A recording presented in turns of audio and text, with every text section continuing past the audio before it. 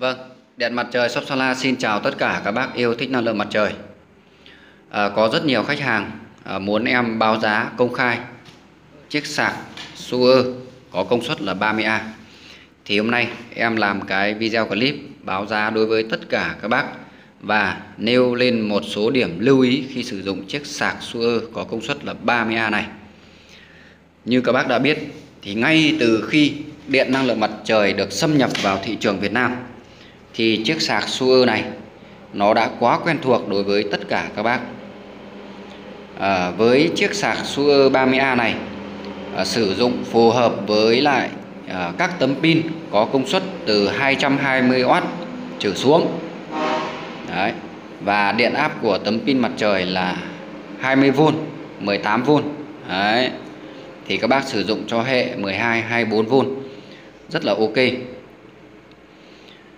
à, đối với chiếc sạc này nó sử dụng công nghệ PVKM cho nên là cái giá thành của nó tương đối là rẻ.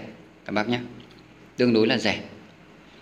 Ở đây thì nó có một cái quyển hướng dẫn sử dụng. Đấy, thì các bác có thể về các bác tham khảo.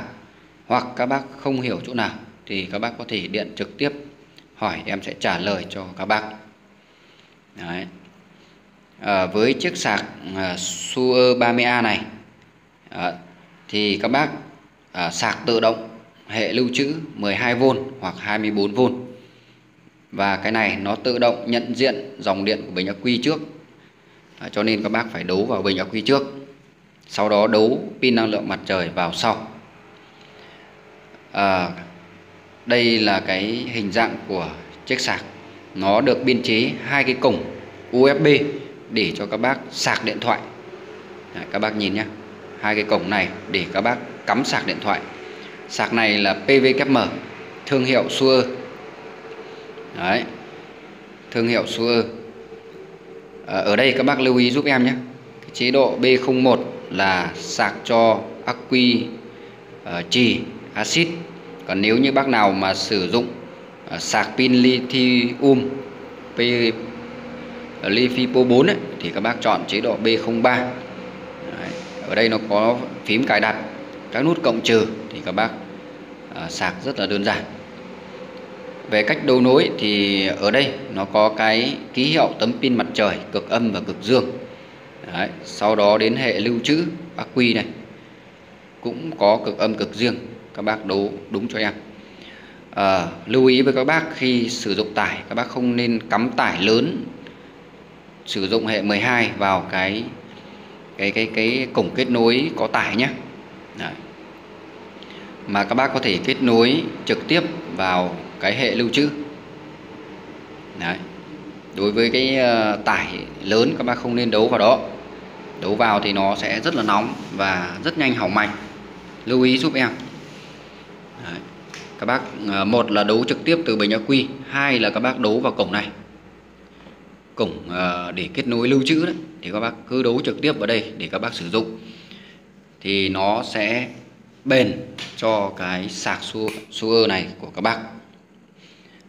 À, với cái công suất 30A này thì các bác nhân ra cho em là 12V nếu các bác sử dụng hệ 12V thì à, đối với các tấm pin thì à, các bác sử dụng hệ 12V thì tối đa các bác sử dụng là 360W nhé 360W còn 24V thì được 720W Đấy, trong cái trường hợp các bác mà sử dụng ví dụ quá 360W cho hệ 12V Đấy, thì nó cũng chỉ lấy cho các bác là 360W thôi. Đấy, tối đa các bác được 360W Đấy, còn nếu như các bác mà sử dụng cái uh, công suất của tấm pin nó lớn hơn thì nó rất là nóng, sạc này nó sẽ nóng và sử dụng lâu ngày thì nó dẫn đến nó hỏng, các bác ạ. Dẫn đến nó hỏng. Thì cái sạc này nó cũng đạt chuẩn CE và ROHS đây là một trong những cái tiêu chuẩn của quốc tế. Đấy. với chiếc sạc này thì được bảo hành là 6 tháng theo hãng, các bác nhé. Được bảo hành 6 tháng theo hãng. Đây. Và chiếc sạc này em đang bán là 250.000 đồng bao phí vận chuyển toàn quốc. À, các bác mua hàng thì liên hệ với em theo số điện thoại trên màn hình. Xin chào và hẹn gặp lại các bác ở video sau.